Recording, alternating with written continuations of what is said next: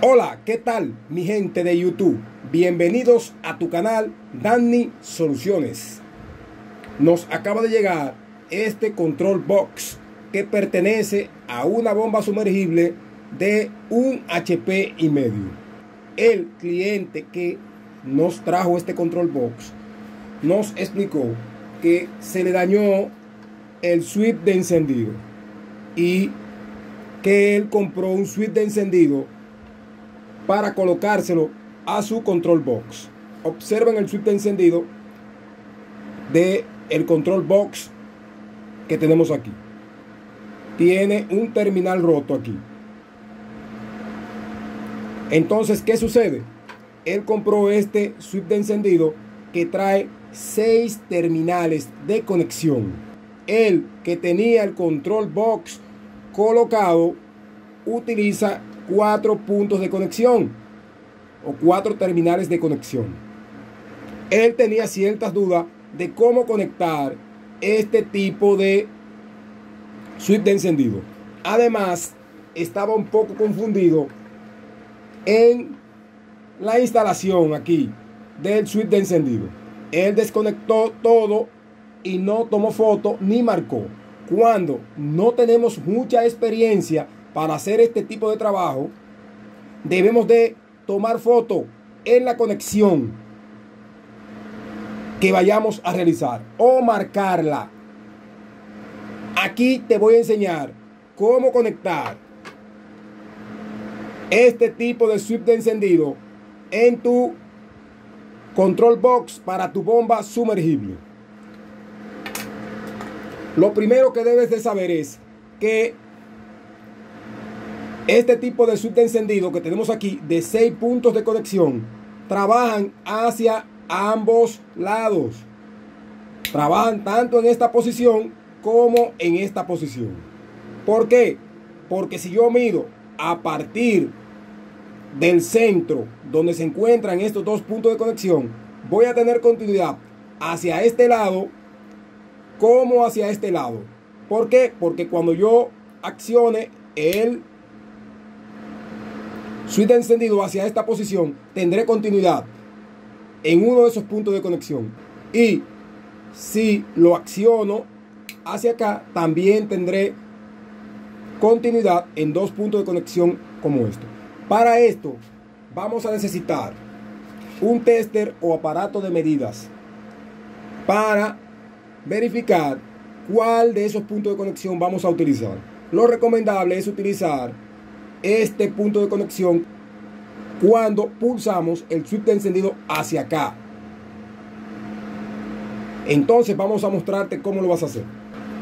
Lo primero que vas a hacer es colocar tu switch de encendido en la posición de encendido.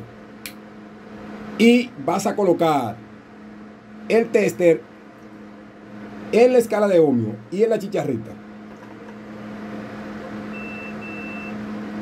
¿Qué vas a hacer?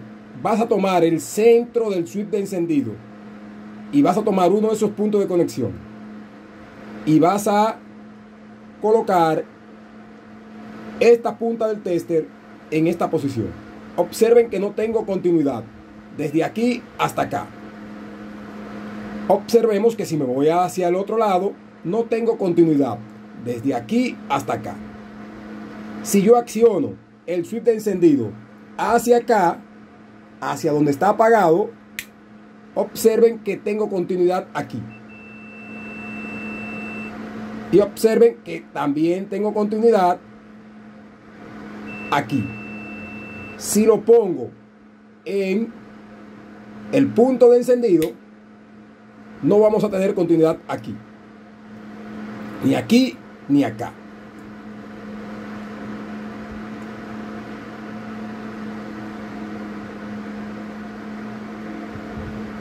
Ahora bien, ¿qué va a pasar? Cuando yo mida desde aquí hasta acá, voy a tener continuidad. ¿Por qué? Porque el switch de encendido está en el punto de encendido.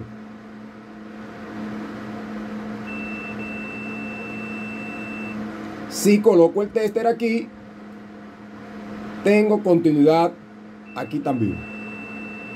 Si yo apago aquí, y lo pongo en modo apagar, no vamos a tener continuidad aquí en este punto de conexión, pero tampoco lo tendremos en este punto de conexión.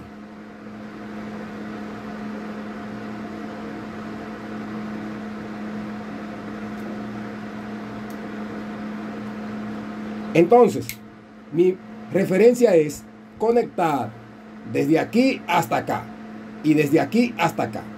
Te voy a mostrar cómo vas a hacer la conexión en el switch de encendido y también en la protección térmica o pulsador manual que utiliza nuestro control box. Vamos a dejar estos dos espacios vacíos que tengo aquí y vamos a utilizar estos cuatro puntos de conexión que están aquí abajo. Puedo utilizar este switch de encendido que trabaja con los seis puntos de conexión también desde aquí hasta acá. La única diferencia es que la bomba va a ser el encendido en modo apagado si utilizo los dos de arriba. Pero la conexión correcta es colocarlo en la posición de modo encendido. Tenemos aquí el control box y tenemos toda la conexión del control box. Estos control box traen los cables identificados. Si no lo traen identificados con colores, lo vas a conectar de la siguiente manera, como yo te voy a explicar. Observen aquí, tengo aquí hacia el lado izquierdo la entrada de alimentación. Como pueden ver, aquí dice línea y neutro. Y tenemos desde aquí hasta acá la conexión de la bomba. Común, marcha, arranque y tierra física. Vamos a utilizar las dos entradas de conexión o de alimentación que van a energizar el switch encendido. Vas a utilizar este cable negro que voy a sacar por aquí para mostrarte. Y este cable negro pasa por una de las entradas de alimentación, que puede ser fase o neutro, o que puede ser cualquiera de las dos fases, porque este control box puede trabajar a 220 y a 110 voltios. Entonces, ya tengo aquí el primero identificado. El segundo cable que vas a identificar es este cable azul que tengo aquí. Que también está conectado en la entrada de alimentación vía la bornera de conexión. Observen que el negro está conectado en la letra L y este azul en la letra N o neutro. Tenemos después de la letra N, la letra C en el control box. Vas a utilizar este cable con su terminal que tengo aquí. Aquí se encuentra la entrada común en la letra C de la conexión de la bomba sumergible. Lo dejamos aquí. Tenemos también este cable azul con su terminal. Observen que tengo cable azul y cable azul. Este cable azul va conectado, como pueden ver, en la bornera de conexión, en la bobina de marcha o trabajo. Observen aquí. Y de aquí se conecta al capacitor. Y entonces sale el terminal hacia acá. Tenemos aquí este pequeño jumper. También, a continuación, te muestro cómo vas a hacer este tipo de conexión. Que es fácil y sencilla. Lo primero que vas a colocar es el pulsador térmico manual. Retiras esta pequeña tuerca que utiliza aquí adelante. Y lo vas a colocar en este pequeño orificio que tenemos aquí colocas la tuerca y ajustas.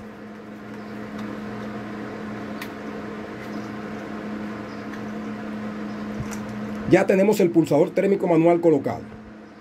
¿Qué vas a hacer? Tenemos el pequeño jumper. Este pequeño jumper lo vas a colocar en el pulsador térmico manual, pero lo vas a hacer después que haga la conexión en el switch de encendido de 6 pines. Como el switch de encendido de 6 pines no trae esta pequeña falda, vamos a retirársela al switch de encendido que está dañado, que tiene un pin de conexión roto. Utilizas un destornillador plano y haces esto.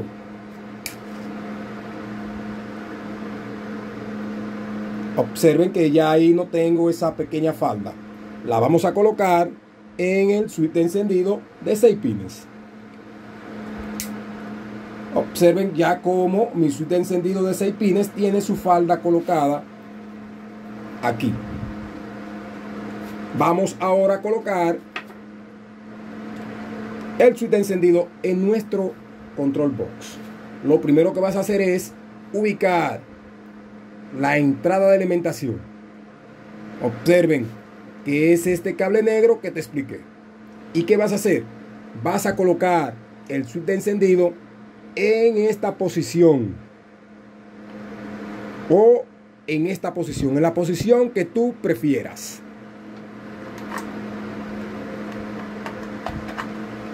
Y lo vas a introducir aquí. Inmediatamente tú lo introduzcas por aquí. Esto tiene este tipo de prisioneros que no deja que venga hacia atrás. Entonces lo colocamos aquí. Observen cómo quedó aquí ya colocado. Vamos a empezar con la conexión de nuestro switch de encendido desde la bornera de conexión. Para que tu switch de encendido te quede la luz apagada cuando acciones aquí debes de conectarlo de la siguiente manera en el control box y en la bornera de conexión vas a tomar primero la línea de entrada de alimentación que puede ser fase o neutro este cable negro y este terminal negro lo vas a colocar el terminal negro con el cable negro primero en este punto de conexión que tengo aquí debajo observen aquí arriba no lo vas a colocar en el centro. ¿Por qué? Porque cuando acciones el botón, la luz se va a quedar encendida todo el tiempo hacia abajo o hacia arriba. Debes de colocar la entrada de alimentación en el punto de conexión de arriba.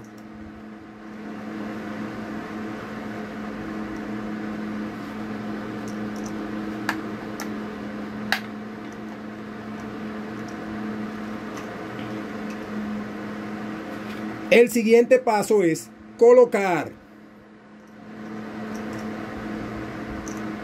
la otra línea negra que pertenece a la entrada común de la conexión de la bomba sumergible y la vas a colocar en el pulsador térmico manual que tenemos aquí. Lo vamos a colocar aquí.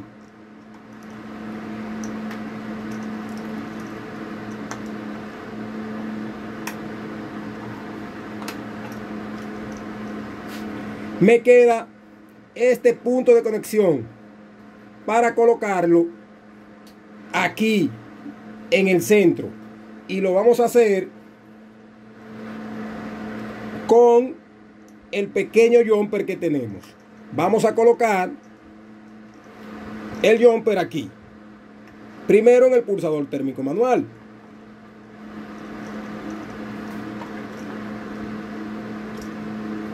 Después vamos a llevar el pequeño jumper a este punto de conexión que tenemos aquí en el centro. En la misma dirección que está colocada la entrada de alimentación. Que es el cable negro.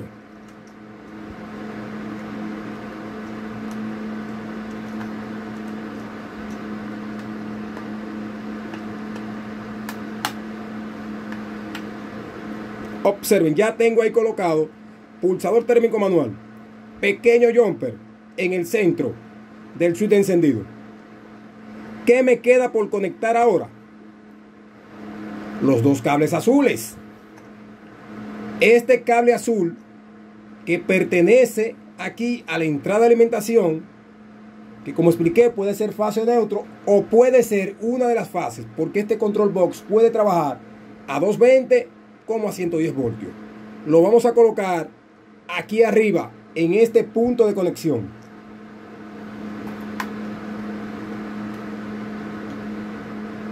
El cable azul con el terminal que me queda. Este cable azul pasa por el capacitor, pasa por la bobina de marcha o trabajo. ¿Por qué? Porque la teoría dice que la bobina de marcha o trabajo va interconectada con una de las entradas de alimentación, que puede ser fase neutro. Entonces, yo voy a colocar este terminal en el switch encendido, en este punto de conexión del centro.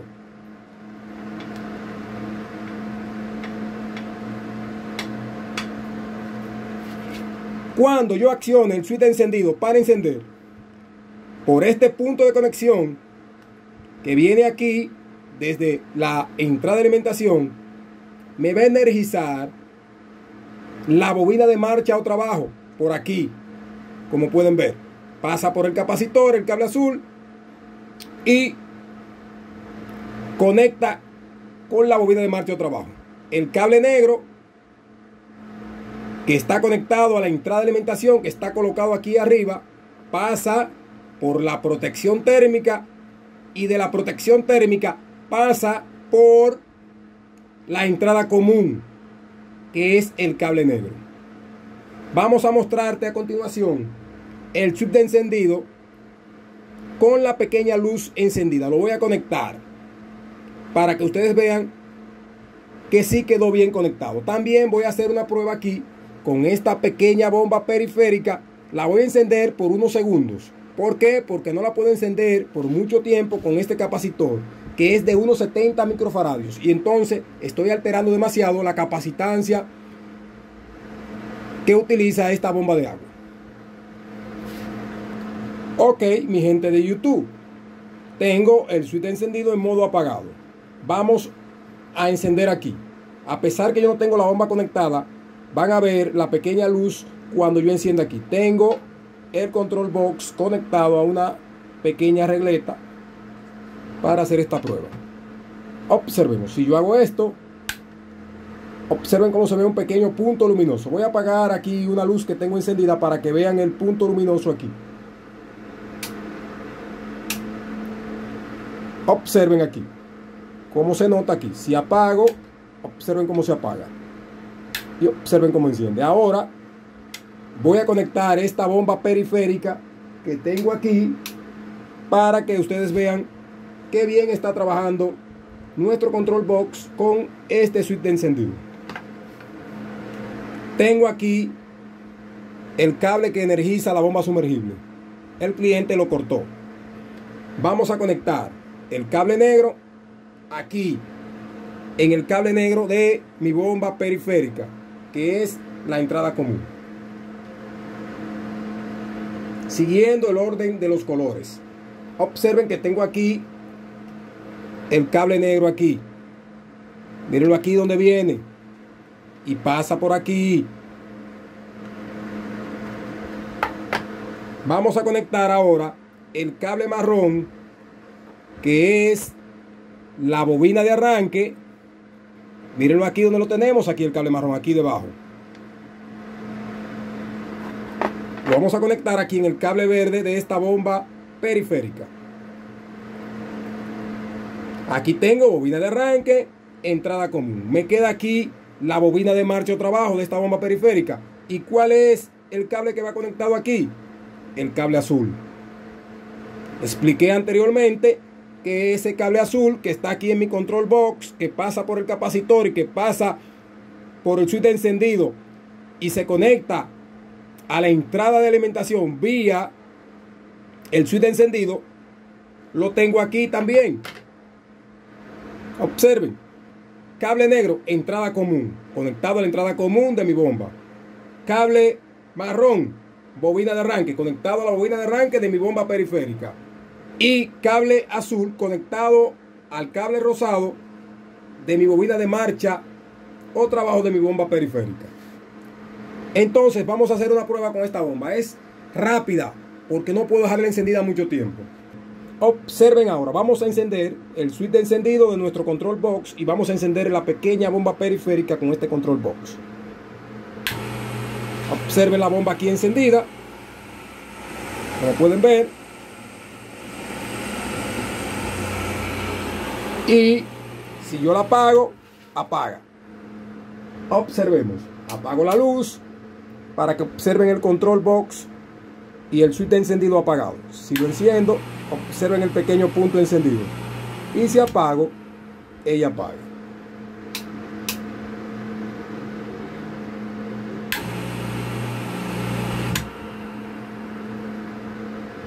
Aquí te enseñamos cómo conectar un switch de encendido, un pulsador térmico manual en un control box.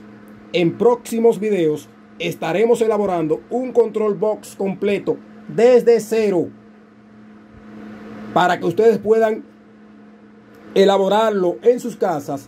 Si te gustó este video, dale a me gusta y suscríbete a tu canal Danny Soluciones.